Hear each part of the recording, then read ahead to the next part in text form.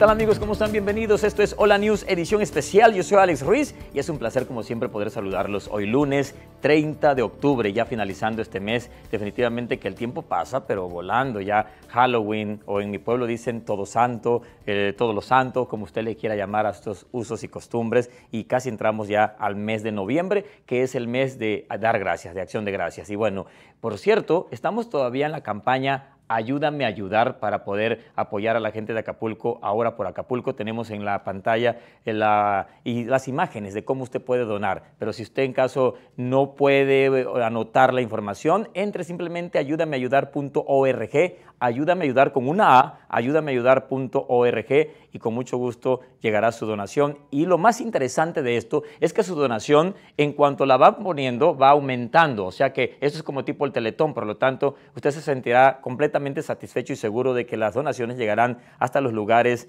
que deben llegar, como lo hemos hecho durante todas las diferentes campañas cuando se nos presenta un desastre como esto que está como esto que atacó Acapulco y ahora viene lo peor, por supuesto, el huracán Otis nos dejó destrozado nuestro puerto de Acapulco. Vamos a iniciar con la información del día de hoy.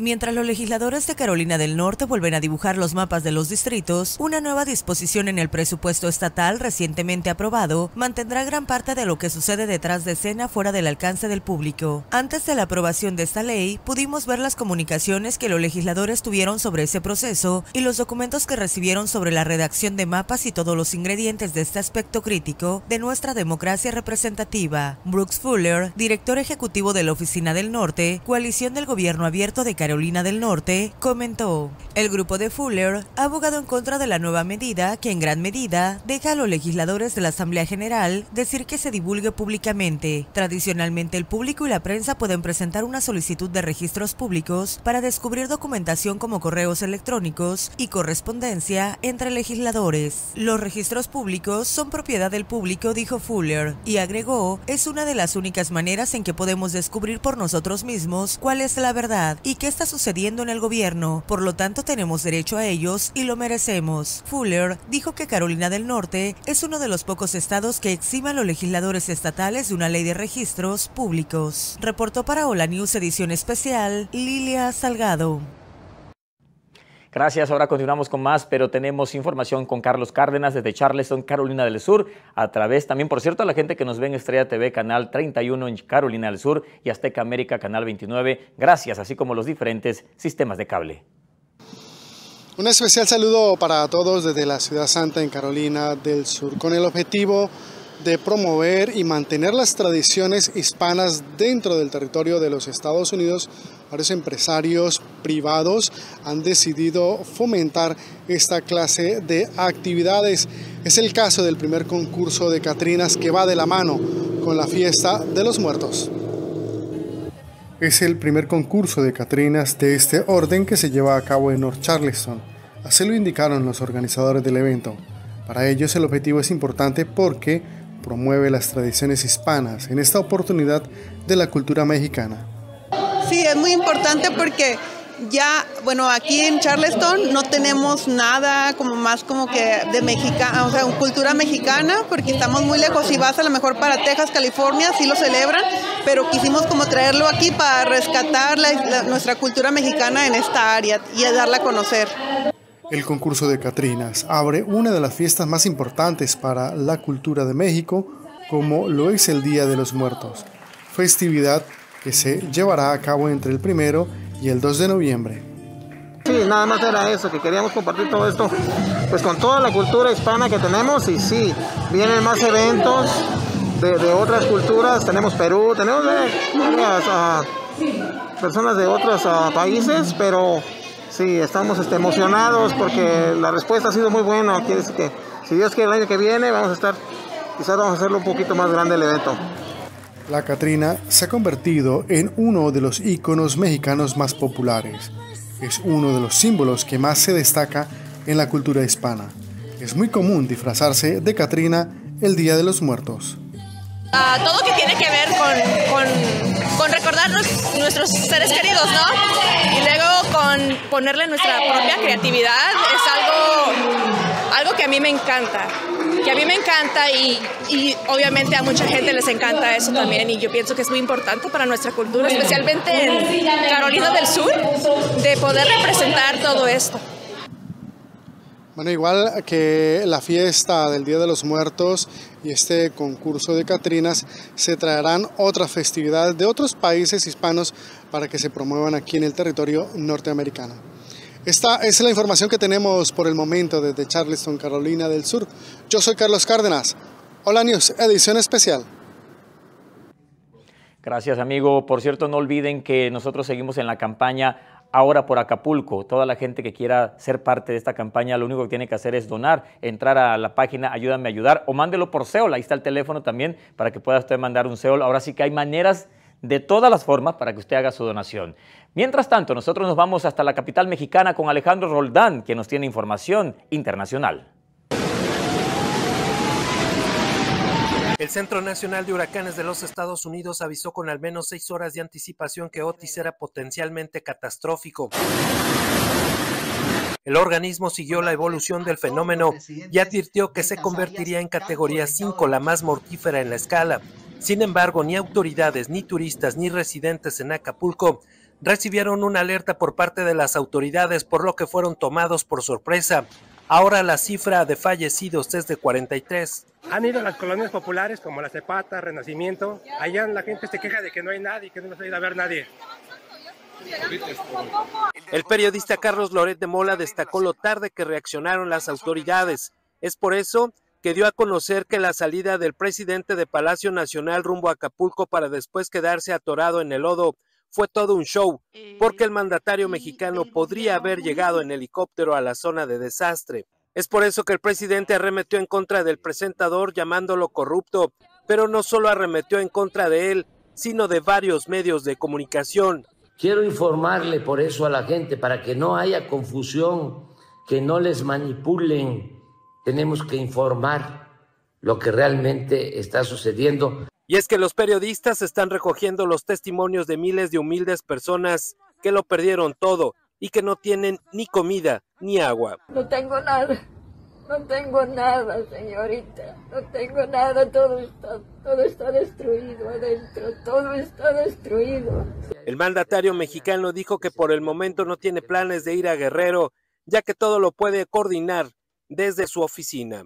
No estoy porque creo que ayudo más eh, coordinando desde aquí todas las acciones. En Ciudad de México, Alejandro Roltán, Hola News, edición especial. La queremos comprar. ¿Y por qué vienen a, que vayan, que no sean así? Gracias, mi querido Alejandro, por la información desde la capital mexicana. Ahora nosotros nos vamos a la sala de redacción de Hola News, edición especial, donde está nuestra querida Alejandra Gallardo, quien tiene las últimas noticias de lo que ocurre hasta este último minuto aquí en las Carolinas. Alejandra, cuéntame, ¿qué me tienes el día de hoy?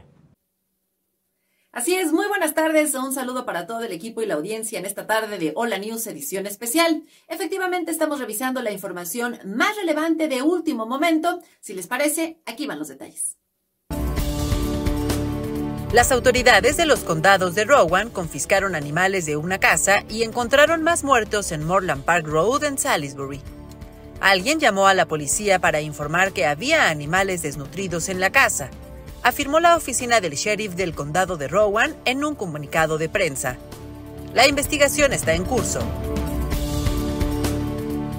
Seis bomberos resultaron heridos después del derrumbe de un edificio el sábado, dijeron las autoridades. El Departamento de Bomberos de Burlington, el Departamento de Bomberos de Whitsett y los servicios de emergencia del condado de Guilford respondieron a una llamada sobre un paciente en el techo de un edificio anexo que tenía una emergencia médica aproximadamente a las 5.15 pm del sábado. El edificio estaba en construcción en la cuadra 500 de Brycewood Drive en Burlington, Carolina del Norte. Los bomberos intentaban bajar al paciente al suelo cuando el edificio se derrumbó, lo que provocó la caída de varios bomberos y del paciente. El sindicato United Auto Workers y General Motors llegaron a un acuerdo contractual tentativo, poniendo fin efectivamente a la primera huelga que simultáneamente atacó a los tres grandes fabricantes de automóviles de Detroit, según múltiples informes. Citando una fuente no identificada, The Associate Press informó que el acuerdo se alcanzó el lunes y coincide con un patrón establecido anteriormente por Ford, que llegó a un acuerdo tentativo con el sindicato el jueves, y por el fabricante de Jeep Stellantis, que llegó a un acuerdo tentativo con el UAW el sábado. Estamos muy bien informados. Permanezcan en Hola News, edición especial. Nos vemos a la próxima. Gracias Alejandra por la información desde la sala de redacción de Hola News edición especial. Ahora vamos a darle un vistazo a las condiciones del tiempo para que se prepare usted para el día de mañana martes. Aquí tenemos la información.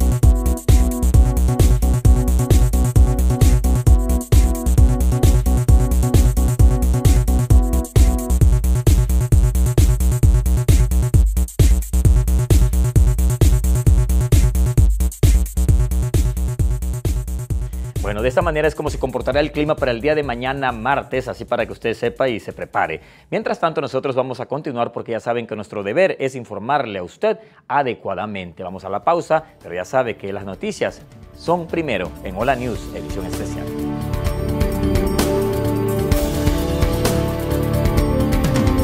Cuando nació mi tercera hija, mi mundo era perfecto. Ocho días después sufrí un ataque o derrame cerebral. Mi mundo se hizo pedazos. Yo era joven, pero un derrame le puede pasar a cualquiera. Gracias a que actué rápido pude sobrevivir. Aprende a identificar los síntomas de un derrame rápido. Rostro caído, alteración del equilibrio, pérdida de fuerza en el brazo, impedimento visual repentino, dificultad para hablar. Obtén ayuda rápido. Llama al 911. Todos los días era lo mismo Hacía de todo para que nadie se diera cuenta lo que me sucedía. Pero a mi estómago no le importaba dónde estaba y el dolor reaparecía. Tras muchas veces de casi no llegar al baño y de perder peso, tenía que hacer algo. El Crohn's and Colitis Foundation me ayudó a atender lo que me sucedía y a encontrar un especialista. No oculte sus síntomas, busque ayuda. Visite revelatuinterior.org. Escucha la mejor música latina en Latina FM con estaciones en tres estados. Siempre estarás cerca de Latina Radio. DJs en vivo desde el estudio, siempre tocando música con todo el sabor latino. Escucha a las más grandes estrellas. No fue culpa tuya, ni tampoco mía. Reggaetón. Tú no eres bebecita, tú eres más Tropical. Papi, dame un consuelo Descarga nuestra aplicación y llévanos a cualquier parte. Síguenos en redes sociales y participa para ganar entradas a los mejores conciertos. Latina, tu música. Presentado por tus concesionarios Toyota locales. Vayamos juntos. Visítanos hoy.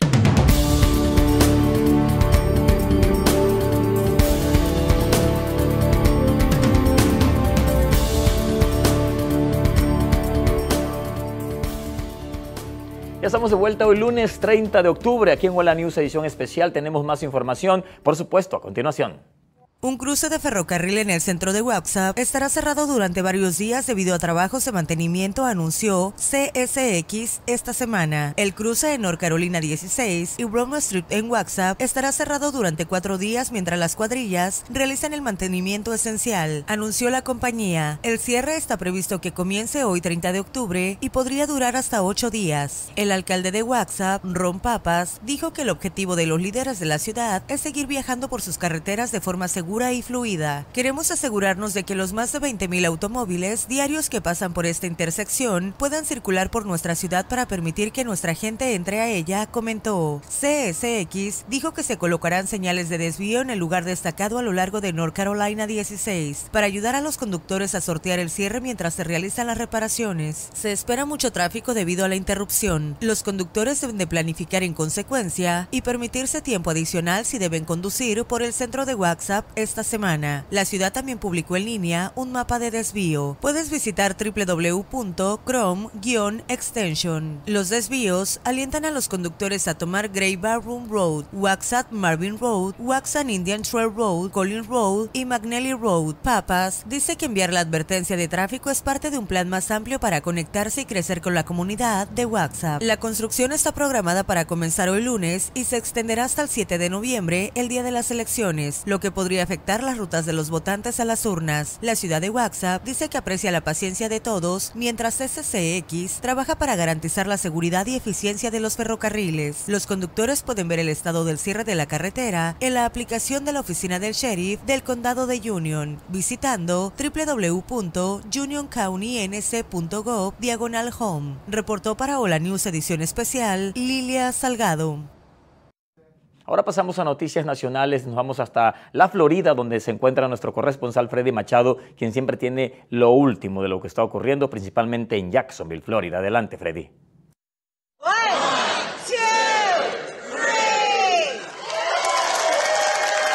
I was afraid that I was going to walk in and think it looked too new. Tenía miedo de entrar y pensar que pareciera demasiado nuevo. La belleza pudo ser capturada en la vitalidad. Es absolutamente increíble. Así que gracias a todos los que ayudaron a realizar las renovaciones de este teatro. Supporters, my fellow city leaders. 100 años que se cumplirán en 2027 y esta restauración es uno de los pasos para la celebración en la que ya están trabajando. We're reopening the Florida Theater today. Reabrimos el Teatro de Florida hoy después de estar cerrado durante cuatro meses por una renovación de 8 millones de dólares que reemplazó el sistema de aire acondicionado y ventilación del teatro. Remodelamos los baños, mejoras eléctricas, restauración de toda la pintura decorativa y la pintura histórica dentro del teatro.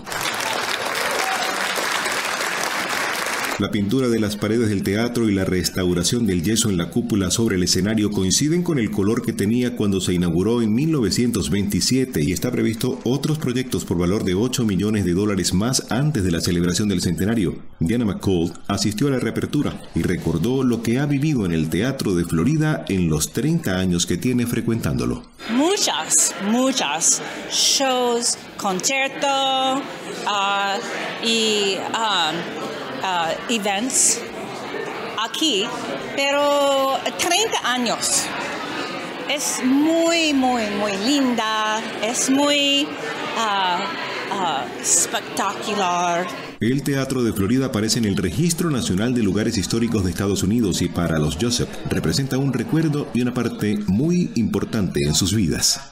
I have been coming here for 70 years. He estado viniendo aquí durante 70 años desde que era una niña. Tomaba el autobús urbano hacia el centro para el Teatro de Florida con mis amigas y mi hermana. Veníamos a ver un espectáculo, comíamos una hamburguesa y después tomábamos el autobús a casa. Me encanta el Teatro de Florida. He estado viniendo aquí, como dije, durante 70 años y espero venir aquí muchos años más. El lugar siempre estará en mi corazón. My wife is the one who brings me to the Florida Theater. She grew up in Jackson. Mi esposa es quien me trae al Teatro de Florida. Ella creció en Jacksonville, así que recuerda el Teatro de la Florida allá por los años 50. Y yo no soy una persona de seguir espectáculos, pero ella me ha convencido de la calidad y para venir al Teatro de Florida. Y lo que se ofrece es simplemente espectacular. Estamos muy entusiasmados. Ella incluso compra boletos para sus amigos. Somos muy afortunados de tener el Teatro de Florida en Jacksonville. Uh, she even buys tickets for her friends. Entre los asistentes encontramos Ken Duncan, que estuvo muy ligado al funcionamiento del teatro y lo recuerda con gran alegría y con la ilusión de todo lo que vendrá. I was on the board uh, for about 10 years. Estuve en la Junta durante aproximadamente 10 años y vine aquí porque amo las artes en el centro de Jacksonville y el teatro apoya al centro de la ciudad. La renovación aquí es la clave para que siga funcionando por muchos años más. Es un lugar fantástico y con recuerdos realmente especiales. Hay que venir a ver los espectáculos, lo recomiendo mucho. Gina Scott fue otra de las que tomó su tiempo para ser testigo de la gran reapertura y comentó sobre el vínculo entre ella y este espacio histórico. Hmm. Well, I guess we joined it a few years ago.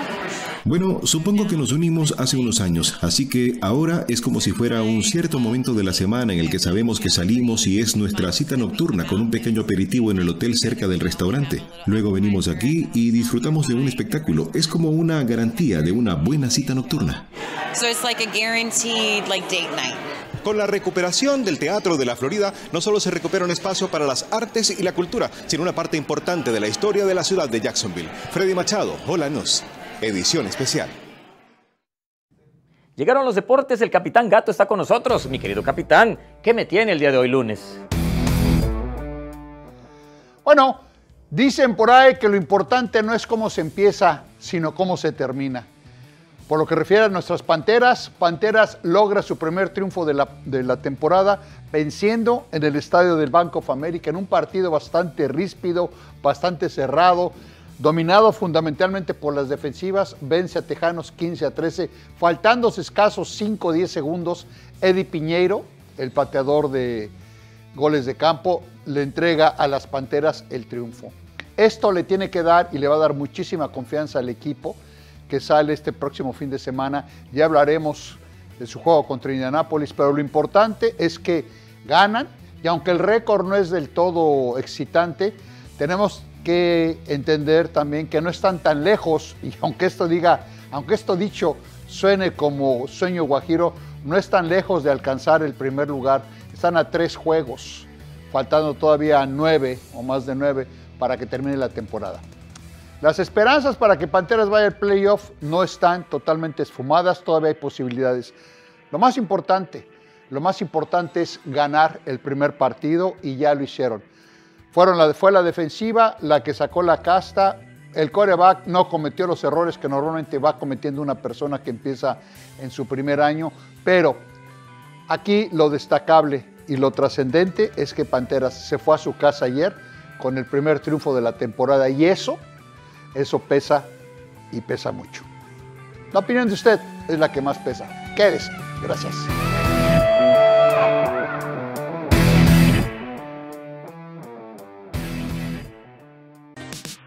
Escucha la mejor música latina en Latina FM, con estaciones en tres estados. Siempre estarás cerca de Latina Radio. DJs en vivo desde el estudio, siempre tocando música con todo el sabor latino. Escucha a las más grandes estrellas. No fue culpa tuya ni tampoco mía. Reggaetón. Tú no eres bebecita, Tropical. Papi, dame un consuelo. Si eres la cura, quiero Descarga nuestra aplicación y llévanos a cualquier parte. Síguenos en redes sociales y participa para ganar entradas a los mejores conciertos. Latina, tu música. Cuando nació mi tercera hija, mi mundo era perfecto. Ocho días después sufrí un ataque o derrame cerebral. Mi mundo se hizo pedazos. Yo era joven, pero un derrame le puede pasar a cualquiera. Gracias a que actué rápido, pude sobrevivir. Aprende a identificar los síntomas de un derrame rápido. Rostro caído, alteración del equilibrio, pérdida de fuerza en el brazo, impedimento visual repentino, dificultad para hablar. Obtén ayuda rápido. Llama al 911. Todos los días era lo mismo. Hacía de todo para que nadie se diera cuenta lo que me sucedía. Pero a mi estómago no le importaba dónde estaba y el dolor reaparecía. Tras muchas veces de casi no llegar al baño y de perder peso, tenía que hacer algo. El Crohn's and Colitis Foundation me ayudó a atender lo que me sucedía y a encontrar un especialista. No oculte esos síntomas, busque ayuda. Visite revelatuinterior.org.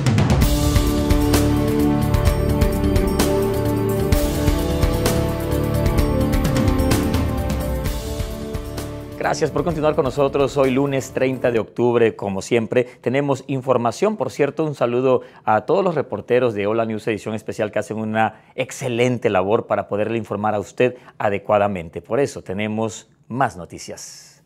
El Aeropuerto Internacional Charlotte Douglas está cambiando sus tarifas de estacionamiento para vehículos en todos los estacionamientos y cubiertas. Los funcionarios del aeropuerto dijeron que los cambios se producen en respuesta al crecimiento sustancial de pasajeros locales, así como la expansión de las instalaciones de estacionamiento en el aeropuerto. Las instalaciones de estacionamiento del aeropuerto están actualmente llenas o cerca de su capacidad debido a ese crecimiento de pasajeros, y los funcionarios del aeropuerto dijeron que el tráfico del área de Charlotte hacia las instalaciones de estacionamiento ha aumentado un 30% desde la primavera del 2023. A la luz del crecimiento de pasajeros, los funcionarios del aeropuerto recomiendan a los pasajeros reservar un lugar de estacionamiento con anticipación a través de parkclt.com o utilizando la aplicación CLT Airport. Los servicios online también pueden tener mejores tarifas según el aeropuerto. Los cambios entrarán en vigor el 6 de noviembre. Reportó para Hola News edición especial Lilia Salgado. Muchas gracias. Ahora, ¿qué es lo que está ocurriendo en el mundo? Pero en un minuto es lo que vamos a ver a continuación. Pero antes me despido. Recuerde, hoy es lunes 30 de octubre. Tenemos una cita mañana martes. Y ya sabe, sigan la programación de Las Carolinas, de Estrella TV Las Carolinas y Azteca América Las Carolinas. Yo soy Alex Ruiz. Una vez más, muy agradecido, muy agradecido y muy agradecido. Lo que pasa en el mundo en un minuto.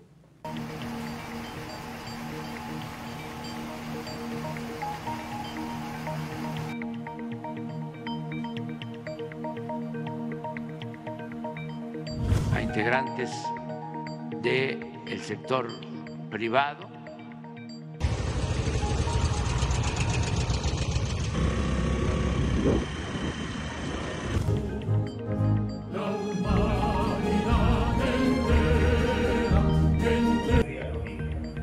Ustedes, integrantes del Estado Mayor Central de las